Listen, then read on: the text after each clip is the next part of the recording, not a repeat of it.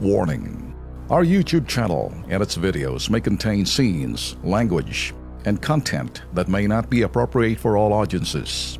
These videos include surveillance footage, undercover pursuit of suspects, actual police and rescue operations, and fearless confrontations. If you do not approve of the content, please do not watch our videos. If you wish to continue, we strongly advise that you proceed with caution. Viewers' discretion is advised. Oy, mag-ingat ha, Tolben, paring Alex, sa mga kababayan Bakit? natin. Magpapasko, maraming nagpapakater ngayon. Oo, oo, oo, oo, oo, tama, tama, tama. Bago kayo kumuha ng catering, ito panoorin muna ha, catering service sa Marikina, inireklamo. Magaling lang daw sa boka, pero ang serbisyo nila palyado.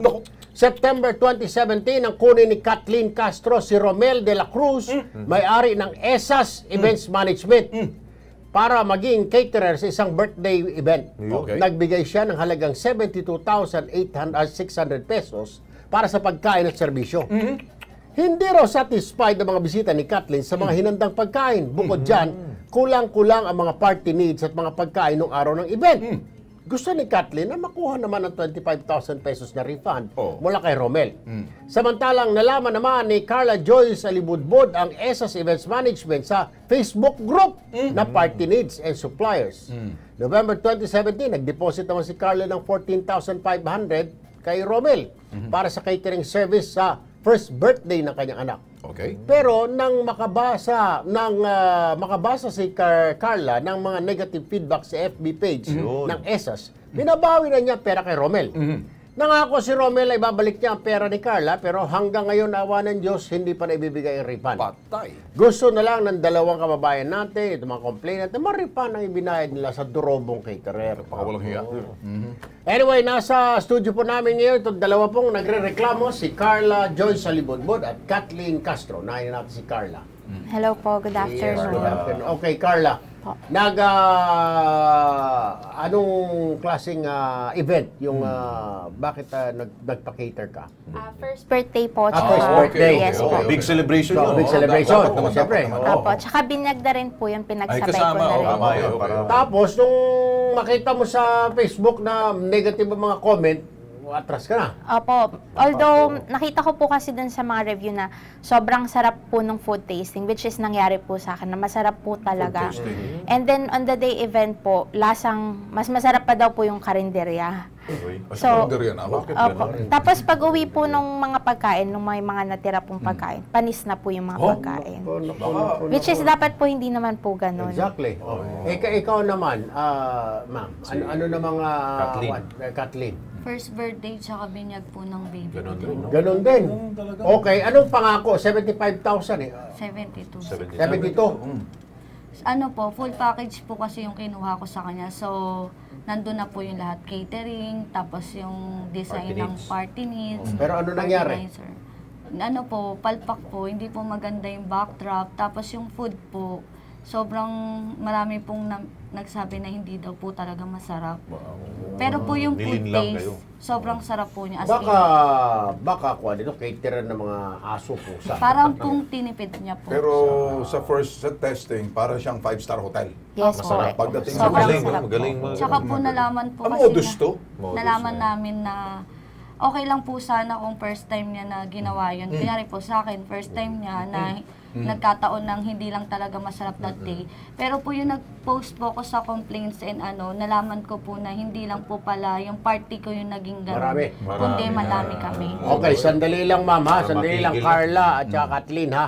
Nasa linya ng telepono si Attorney Nancy Taylan, ang ah, head ng Business Permit and Licensing Office ng Marikina. Magandang hapon po, Attorney ah, Nancy, ma'am. Hello, magandang hapon. Opo, si Erwin Tulfo po ito. Ma'am, Opo, kasama yes, si sir. Alex Santos at ah, Ben Tulfo. Ito po ang programa Kilos Pronto. Live po tayo sa PTV. Ma'am, ilalapit lamang sana namin itong isang ah, catering ah, service dyan. Itong ESAS Events Management. Dyan po nakarehistro yan sa inyo sa Marikina. Eh mukhang marami hong naluloko itong ah, catering na ito. Ah, ano ho kaya pwedeng ah, gusto na lang nitong dalawang complainant sa aming studio ngayon eh makakuha ng refund dahil nung una raw nung food tasting napakasarap ng pagkain. Pero nung ah, on the day itself ng ah, catering, eh, masahol pa sa, mas masarap para yung ka- pagkain sa karinderya. so, ang gusto lang nila, mabawi yung ah, konting pera na nasobra kasi yung isa ma'am, ah, food package, pero yung mga dekorasyon, kulang-kulang. Itong isa naman, ma'am, ah, gusto nag-down payment siya, pero makita niya na mga puro negative ang comment sa sa social media, gusto niya nga i-refund. Ayaw namang i-refund sa kanya nitong ah, ESAS Events Management, ma'am. Yes, actually kanina, nung tumawag yung ah, staff mo, Opo. sinek na namin yung kung merong reg- registration. Kasi sabi sabi nyo, registered sa Marikina. Pero, Opo. pero wala kaming Wala. nakita na nakarehistro sa aming ah, Fly by night? system na ganyang pangalan. Fly by yung night. ESAS Event Management. Nako. Ah, kaya siguro ang pinakamaganda ay ah, malaman ko yung exact address kung saan yung business na yon at kung saan sila nakipag-usap Oo. dyan sa may-ari. Saan ba kayo, saan nyo nakontak ito? Sa May opisina social ba? media? Sa social media po. Sa Walang social opisina. media? Me- meron Pero resibo siya. May nakikipagkita resibo ba po sila siya sa na may BIR. Mismo dun sa actual na Opisina. lugar kung Opisina saan nila. May resibo ah, daw. yung address ng Nakapu- establishment? Nakapunta ba kayo sa opisina nito? Pinantahan ko po tatlong address po kasi yung nakita kong meron siya. Meron po siya dun sa resibo niya. Hindi po nag exist May yung resibo. address na yun. bogus. Pwede po, pwede po bang ma mabigyan kami nung Kopya. address no eksakto para mapapuntahan ko po ng inspector. Tapos kung kung okay lang po doon sa complainant, pwede rin po silang pumunta sa aming office Yun. para oo. ah, mag-file Pupuntahin na ng lang formal natin. complaint. Yes. Although Oo. pagdating po doon sa sinasabi nila, nilang refund, eh siguro po civil courts ang makaka-decide niyan whether or not they're entitled to damages. Ay, ang, ah, ito nga, may binigay na address dito. 12 Orchid Street, Olandes, Barangay, Porsi, Marikina. Pero mukhang wala yata sila dyan, Ito, ma'am. wala. Yan, yan nakasulat. Yun yung Wala nakasulat. po, wala po kasing nakarehistro sa amin na ganyang Yeah. pangalan. Pwedeng Yung gawa-gawa lang kasi sabi ma'am, nila no? na ESAS Event Management. Eh, kung ilang esas, ma'am, etchas. Meron kaya. Hindi, delikado yun. Pasin, pasintabi kung kumakain kayo. sorry, sorry. Eh, baka, eh, gusto ko lang Ah, patawa. Sir, ano, Sabagay. marami ka namang napapapunta na sa akin pag kami mga ganyang complaints. Baka gusto Yeah, mong sige. papuntahin diretso sa Ayan. office. Sige, at, ma'am, ah, papuntahin namin. Pwede namin Oo, pasamahan sa inspector. Alright. Sige po. Yeah. Sasamahan na lang po namin bukas, ma'am. Thank Okay you na. po, Attorney Nancy, ma'am. ha? Wala pa man, thank you. Thank you Yeah. very much. Si Attorney Nancy Taylan po Yun, sa BPLO. Yun ang problema. Yun. Oo. Walang nakarehistro doon sa kanilang file. Walang esas. Oo. Ibig sabihin nun, gawa-gawa lang niya lahat. Pero yung uh, resibo, Talagang lahat. panluloko ang Oo, uh, plano. Tolben. Maganda siguro manawagan na rin tayo. Kung kayo ho'y mga small business na kapareho marangal at uh, tapat naman sa inyong ginagawa, magparehistro na kayo. Ano? Correct. Yung mga kasalanan ng iba, matututuho kayo sa mga dorobo. Pero wag niyong gawayahin sila. Bagkus galingan nyo, kung negatibo sila, positibo kayo. Correct, Di ba? correct, Tawagin natin ng pansin itong si Romel de la Cruz. Romel! Yun, kung nakikinig ka? Sumuko ka na! Magbayad ka na! Pinatayan tayo ng cellphone. Kaya Pinatawagan nga. natin.